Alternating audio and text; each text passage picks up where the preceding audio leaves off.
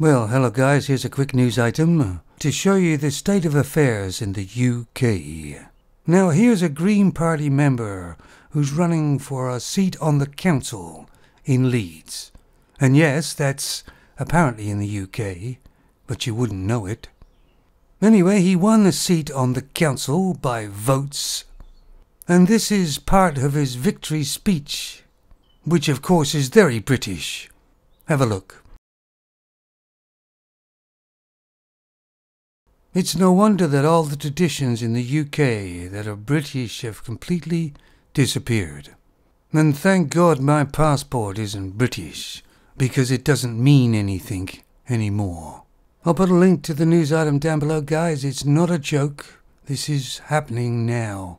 And I'm just gonna go for a walk and contemplate it. Take it easy, fellas.